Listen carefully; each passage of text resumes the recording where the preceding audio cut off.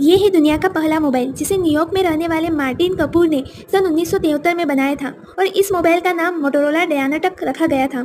ये है दुनिया की पहली साइकिल, जिसे सन 1817 में जर्मनी के बेरेन फॉन ड्रेविन ने बनाया था। यह लकड़ी से बनी साइकिल थी और इसका नाम था ड्रेसियन ये है दुनिया की पहली कार, जिसे बनाया था निकोलस जोसेफ कगनोट ने, जो फ्रांस के रहने वाले थे।